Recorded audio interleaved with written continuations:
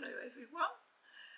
Almost exactly one year ago, in July 2019, I did an unboxing for the first Death end re;Quest game and I will put the link to that video in the description below so you can catch up with it if you haven't seen it.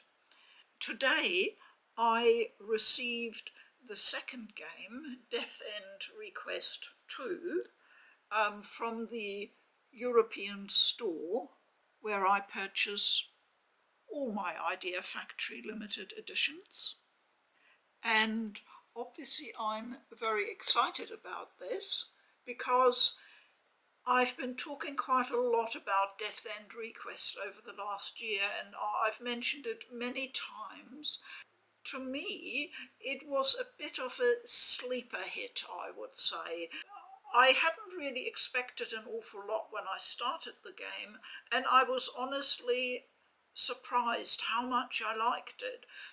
Now, it probably speaks directly to my interests because I love stories about characters that are trapped in a virtual world. And of course, we've had many of those, whether it's Dot Hack or Sword Art Online. And Death end re;Quest is another story uh, of people trapped inside a game world. The interesting thing about that story is that you operate in two parallel worlds. One of them is inside the game, a virtual world, and the other one is the real world where the characters are trying to solve the mystery of how the characters got trapped in inside the game that side of things works a bit almost like a visual novel uh, where you're trying to unravel a mystery. And then in the virtual world, you have your battles as usual. And the combat system is, I think, very enjoyable with sort of tactical placement of your party members, which happens in real time. Uh, it's, it's really nicely executed. So for me, that was a surprise favourite over the last year. Not surprisingly, I was really looking forward um, to the second game. So I wanted to do a quick unboxing. As you can see, I've already taken the outer cellophane off the items because because with the COVID situation we're living in these days, I do any unwrapping uh, with disposable gloves on and with, with disinfectant wiping down the items on the outside. Uh, that doesn't lend itself uh, very well to a, to a nice, relaxing unboxing.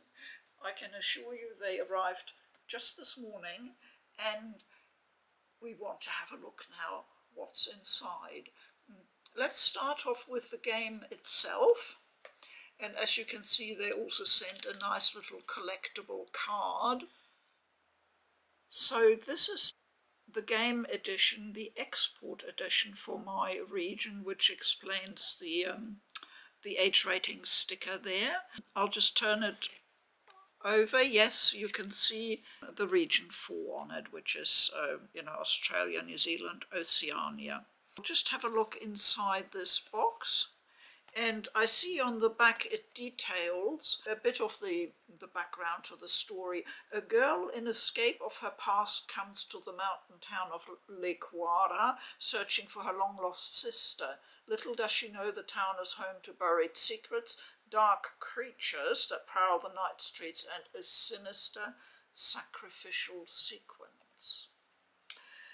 Can she fight the darkness or will the darkness consume her? So it sounds like the second game has upped the darkness factor and probably is even more horror um, oriented than the first one. The first one had some light horror elements, but it sounds like this one's gone really more into horror. So um, that's the game.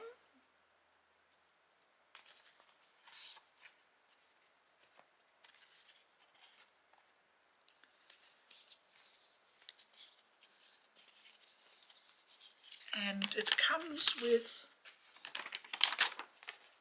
a poster. And you know what happens with posters in this household? Poodle takes them to be laminated and then we try and find a space on a wall somewhere if there's any left to put it up. So that's that that looks nice. I'm happy with that. There's a lot of detail in the poster and it looks like we've got the main characters. Most of the characters are new. I think this is the new main character called Mia, but certainly one important character returns and that is Shina.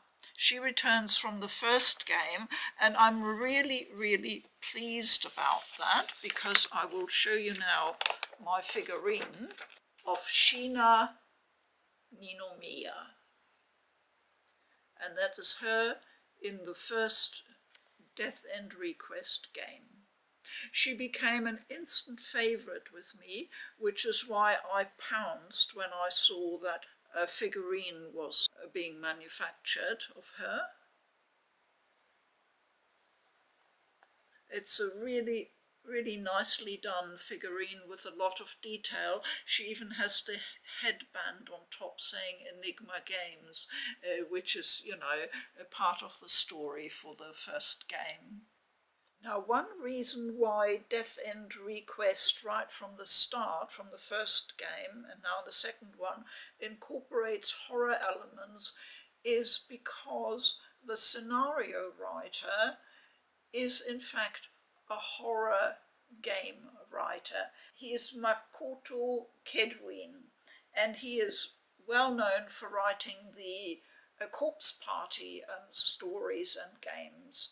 So not surprisingly, uh, since horror is his background, I expect Compile Heart picked him because of that.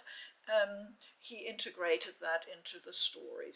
So uh, that's an interesting conjunction to have an RPG with those sorts of um, horror elements integrated. Uh, I, I quite like the combination. Otherwise, the development team, uh, many of them have returned from the first game, so there is consistency across the board, which is nice.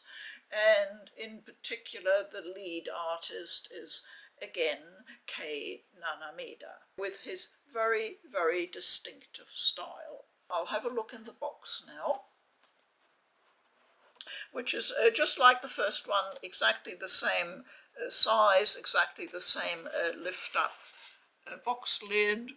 Here we have the items with good uh, cardboard separators inside so everything is, uh, you know, kept safe. And I'll just get the first item out. And we have the soundtrack here. I will just get the uh, my trusty German cheese knife. This is the soundtrack. And that's the inside artwork and that's the track listing. I've already put the disc on so we can have it very softly in the background. I hope you can hear it. So now we'll have a look at the steel book. Um, Idea Factory have their own way of doing steel books. They tend to be a larger size than your regular steel book and I find them for that reason particularly collectible.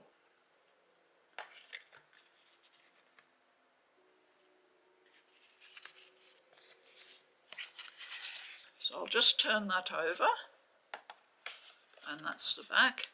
You'll probably get a reflection, that's it's almost impossible to avoid. As before, I've had um, a steelbook with the, the first game and also with Dragon Dragonstar Vanir, and they're always very beautifully done, I have to say. Um, they've got wonderful um, design on the front. It's, it's reasonably shiny. The artwork really pops off the steel case. It's got the, um, the title on the spine, which is nice too. So yeah, I knew I would not be disappointed with that. And finally, we have, okay, True. It says Death end re;Quest 1.5.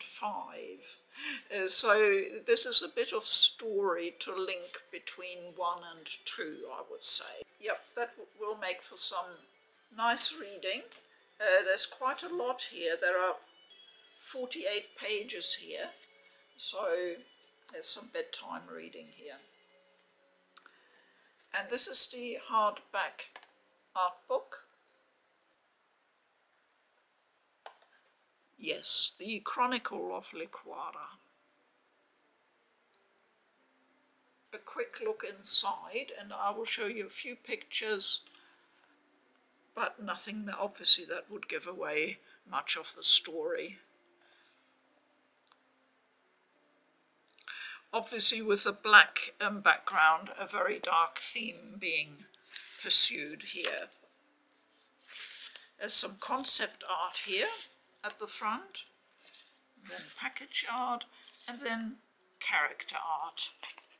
And that's always nice, I think. So this is the main character. And she's called Mai.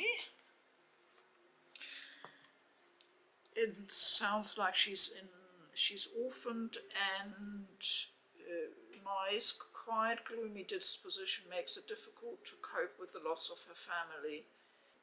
The other female characters, one of them looks particularly cute, and that is Liliana.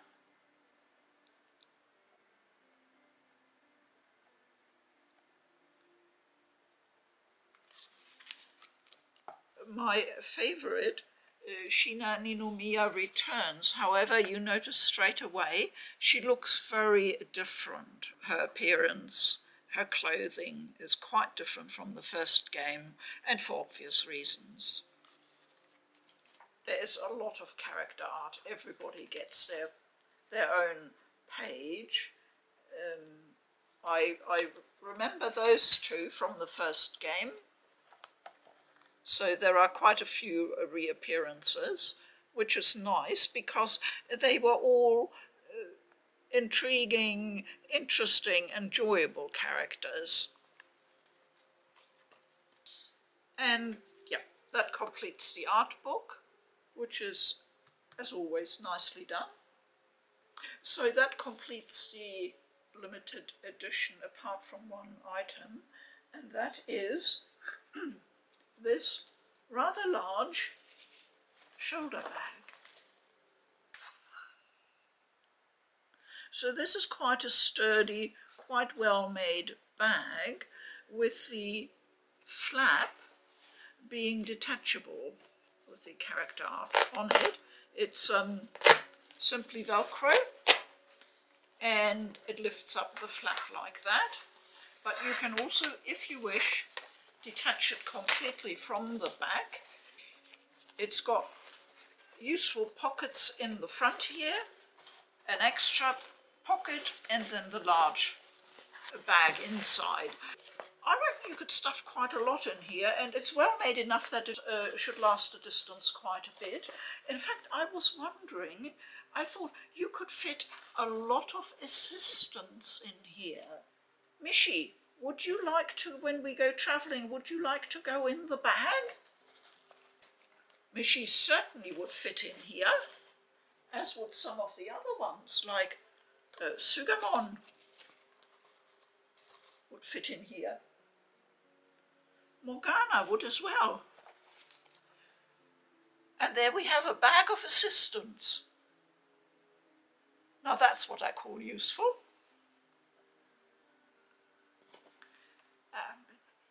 You don't mind, do you guys? Uh, just a bit of fun here. So I've turned up the music a little bit so you can hear it better. Um, I hope you, you enjoyed that display. I won't be playing the game, the second game, immediately, but obviously it goes into the queue.